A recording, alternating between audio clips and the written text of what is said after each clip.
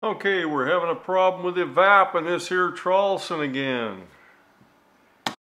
I've got an evap coil here that I uh, pulled out of a reach-in cooler. Those of you that have been following some of my stuff, you've seen that uh, Traulsen cooler I've got here, and it's kind of a test mule. I did find one leak in the coil right back here, which I figured was probably an acid leak uh, from keeping salads in.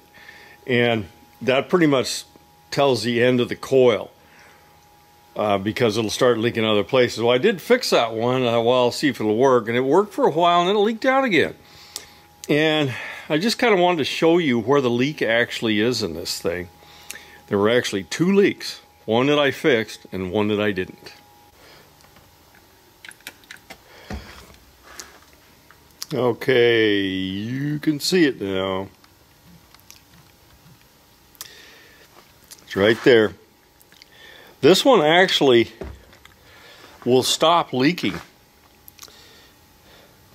when it gets down to about 100 pounds. It's a little bit odd that it's leaking there. Usually those uh, Sil-Fos joints don't leak once they're sealed.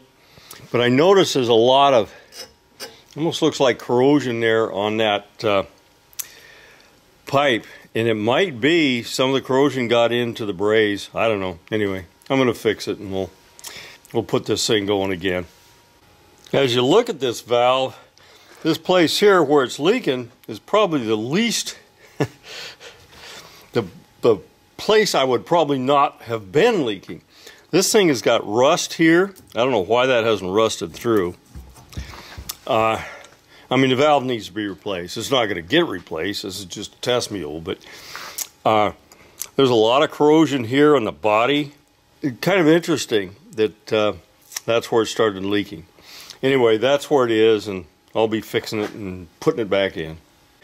Just wanted to give you another view of this. After I've sanded this off, you can see the pitting all through here where that thing has, uh, whatever was in this thing definitely was not real good for copper because it has actually done a lot of corrosion of the copper. You can see I got a little over aggressive with the torch. Wasn't paying attention to what I was doing.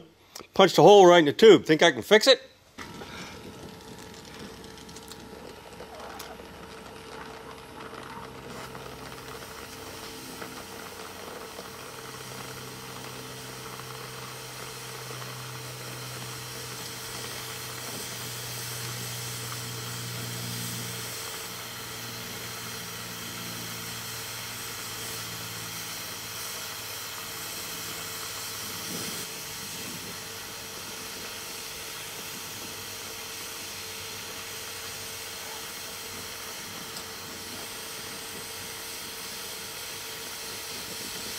Yeah, sorry about the focus on that thing. Uh, oh well, I guess I can blame the camera for it.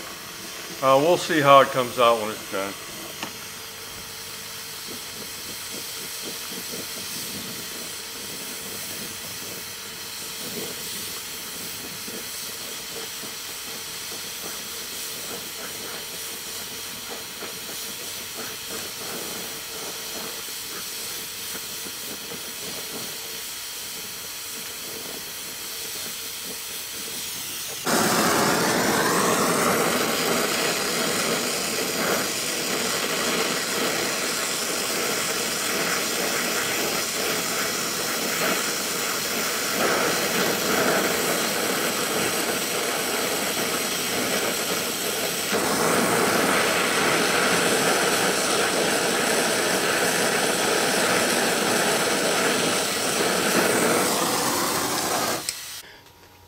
Well, looks like heck.